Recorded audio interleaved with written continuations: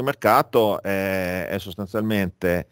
il free risk, cioè eh, il tasso che, eh, che, remunera il non rischio, e quindi tipicamente i titoli di Stato a breve termine, più un premio normale per il rischio. Che cos'è il premio per il rischio? Allora io mettiamo che io ho eh, in un mondo ipotetico, che non è più quello di oggi, i miei bot che rendono l'1%, i buoni ordinari del Tesoro dello Stato, quindi sono dei buoni eh, che non possono fallire, perché non possono fa- la lira l'abbiamo spiegato prima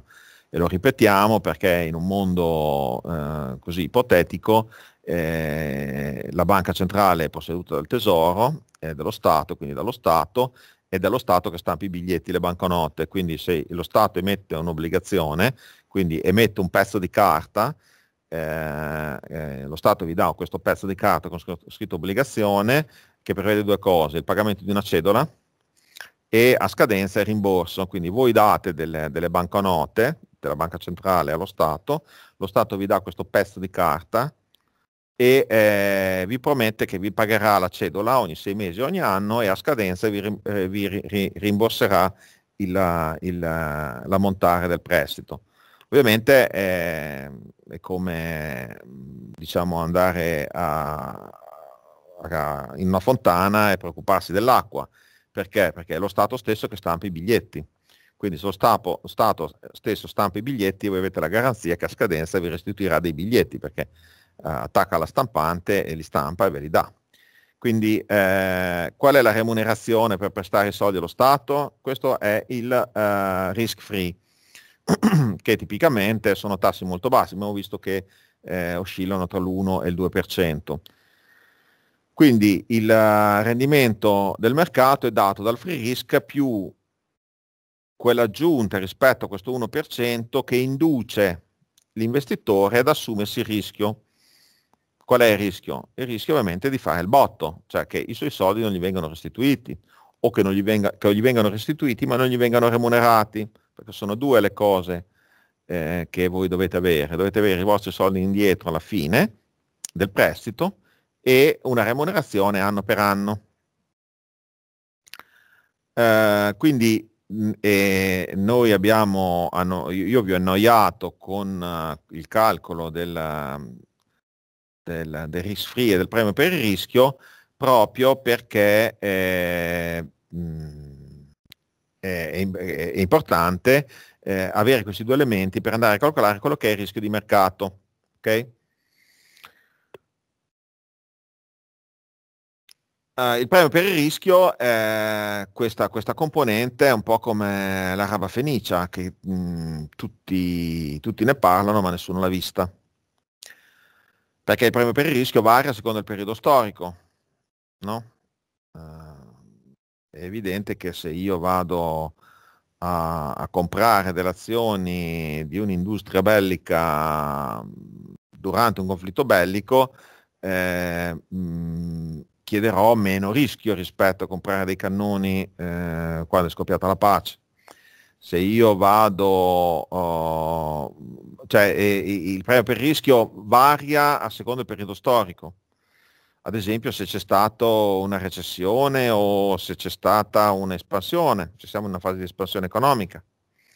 Quindi eh, varia del periodo storico, varia a seconda dello stato dell'economia, a, a seconda della latitudine, geografica. Ci sono, ne, voi pensate che eh, per esempio in un paese emergente eh, non, non, non, esiste la tutela dell'ordinamento, no? Perché? Perché i tribunali non funzionano, perché la giustizia è corrotta, la polizia è corrotta, quindi Tipicamente se io vado a investire in un paese emergente richiederò uh, un rendimento superiore rispetto a investire in un paese dove funziona la giustizia. Perché? Perché se qualcuno mi fa uno sgarro dopo aver investito nel Regno Unito, eh, io mi rivolgo a un tribunale eh, eh, che dopo sei mesi emette una sentenza e tutela i miei diritti. Se io vado a investire nella Repubblica dei Bongo Bongo, eh, eh no, eh, là, eh, c'è una palma, sotto la palma c'è il capovillaggio eh, che eh, ci mette due anni a sentenziare e poi fa quello che gli pare a lui e decide che io sono cattivo non, non, non sono meritevole di tutela. Quindi io per investire nella Repubblica delle Banane eh, oh, devo avere un rendimento ben superiore a quello di investire nel Regno Unito. Uh, molte volte anche il rischio uh, varia a seconda dello stato sociale di chi, stato sociale di chi prende il rischio. Perché? Perché ovviamente se voi avete 10 milioni di euro depositati in banca eh, e vi dovete, dovete fare una società in cui rischiate 10.000 euro, non ci state a pensare due minuti. Se eh, in banca avete solo 10.000 euro e, e, e, e, vi chiedono di partecipare con quei 10.000 euro a una società, è evidente che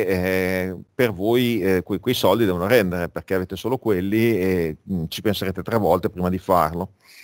Il premio per rischio varia anche a seconda dell'età. Eh, se io ho 25 anni sono disponibile a correre dei rischi che non sarei altrimenti a correre, eh, disposto a correre quando ne ho 52. Perché se a 52 anni sto bene, chi me lo fa fare non andarmi a prendere dei rischi eh, se ne ho 25 o chi la va, a, o, o la, va o la spacca e quindi eh, sono più disponibile a costruirmi un futuro. Eh, varia anche a seconda del sesso, ovviamente questo è, un argomento delicato, eh, ovviamente noi siamo per le pari opportunità e quindi non ci pronunciamo, però magari eh, le, le, donne possono avere più o meno la, la disponibilità ad assumere più o meno rischio rispetto agli uomini. Eh, ci sono alcuni che ne sono convinti, eh, poi alla fine eh, il mondo sta andando in una direzione in che eh, i fatti ci testimoniano che non è assolutamente vero, nel senso che ci sono degli imperi che nascono dall'intuizione geniale di alcune, di alcune donne quindi eh, diciamo eh, magari sono stati dei condizionamenti che ci hanno o hanno portato alcuni a credere questo ma eh, tra 50 anni sarà scontato dire eh, forse che tutti eh, abbiamo la stessa propensione al rischio indipendentemente dal sesso. Quindi ehm, io mi ricordo quando ho iniziato il mio mestiere 30 anni fa, era veramente rara avis vedere una donna che si occupasse professionalmente degli, dei risparmi, degli investimenti di famiglia. Ricordo una, una ragazza che nel 2000 eh, vinse una competizione che noi organizzavamo eh, di borsa e tutta la stampa italiana, Corriere della Sera, Solo 24 Ore, la stampa, la Repubblica, intervistavano questa signora eh, come se fosse un evento, no? che eh, diciamo, qualcuno, cioè la finanza si fosse tinta di, di, rosa. Oggi se vado a vedere le liste dei, dei miei abbonati del mio giornale, eh, il circa il 30% di chi legge il mio giornale è eh, di sesso femminile. Quindi diciamo che 30 eh, anni fa era un evento, oggi incontrare nel mondo della finanza delle, delle, donne che fanno le consulenti piuttosto che i gestori, piuttosto che fare eh, investitori in proprio, è una normalità e nessuno ci fa, ci fa più caso. Quindi nell'arco di 30 anni eh, veramente possiamo dire che eh, il mondo si sia, sia, andato nella direzione giusta, si sia riequilibrato. Quindi eh, oggi magari ci poniamo il problema e tra 30 anni eh, chi, chi, farà questa lezione cancellerà quest'ultima frase e, e dirà che non, è, non, ci penserà nemmeno, ecco. almeno ci auguriamo che sia così.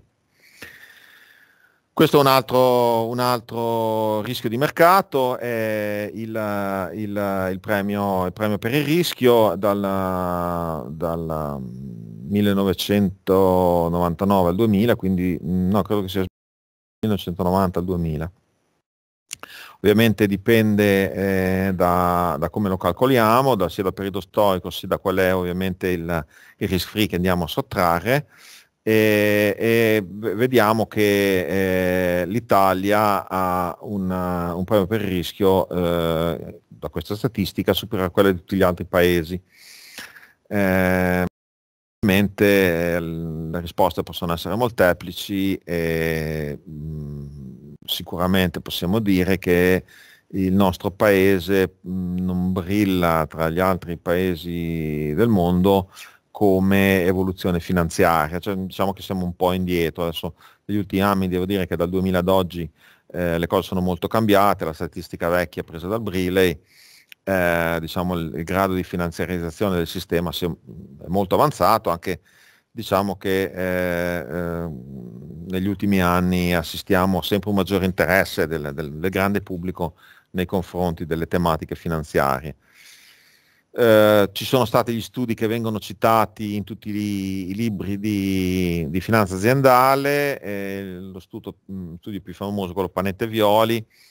eh, che va dalla formazione Regno d'Italia nel 1994 e, e vede un tasso di rendimento medio annuo relativo all'Italia, tasso di mercato, il rendimento del mercato del 6,72 anche siciliano, un altro costo, un altro studio molto importante, sempre su 100 anni del 3.9. Francamente io li riporto per completezza, eh, ma eh, diciamo che stiamo parlando delle guerre puniche, eh, co- così come è cambiato il mondo anche solo dal 98 ad oggi, fanno sì che diciamo, questi studi che pur vengono citati diciamo, in tutti i manuali di finanza,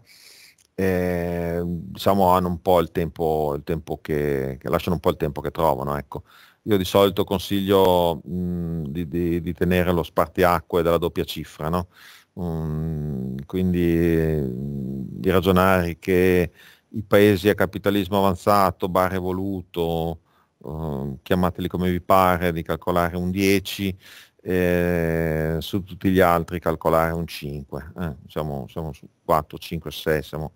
l'Italia siamo a cavallo di queste cifre. Uh, la, questo è il tasso di rendimento 1926 al 2000, sempre dell'indice SP500. Uh, voi vedete che possiamo dire sicuramente che l'indice azionario sono più gli anni che sono in guadagno degli anni che sono in perdita eh, paese che va il rendimento che trovi, anche qui vedete sempre che eh, quando, quando, noi calcoliamo questi rendimenti, per esempio questa è presa dal Financial Times, eh, è raro che eh, vi vengano indicati eh, se questi rendimenti sono eh, media geometrica o media aritmetica. Quindi già il fare la domanda al vostro private banker o a, a un giorno se andrete diciamo, discutere di tassi di rendimento, se diciamo, sono calcolati in media aritmetica o media geometrica, già mette in imbarazzo la controparte perché eh, per andare ad analizzare diciamo, media aritmetica e media geometrica devi aver fatto un corso di finanza, adesso non devi essere un, un, un genio, però eh, se calcolate la media aritmetica vi viene il 3, se calcolate la, scusate, la media geometrica vi viene il 3 per quanto riguarda l'Italia, se calcolate la media eh, aritmetica vi viene 6, allora voi capite che dal 3 al 6 è come dal, da, dal giorno alla notte. Ehm, eh, quindi ovviamente qui l'ho riportata perché vengono riportate tre asset class eh, dal 900 al 2000 e eh, sono dei rendimenti reali, quindi al netto dell'inflazione. Eh, se voi notate eh, l'Italia, eh, la cosa insomma, è abbastanza fastidiosa perché voi notate che eh, chi ha detenuto bond, secondo questa statistica, dal 1900 al 2000 eh, ha perso il 2.2% eh, eh, all'anno, quindi diciamo tenere, tenere bond in Italia con i problemi dell'inflazione che si è manifestata in, in, tre, in, tre, fasi cicliche che sono dopo la prima guerra mondiale, dopo la seconda e durante la crisi petrolifera degli anni 70, eh, ha eh, diciamo, mh, comportato delle perdite non solo per chi ha ovviamente tenuto i bond, ma anche a, per chi ha tenuto il cash.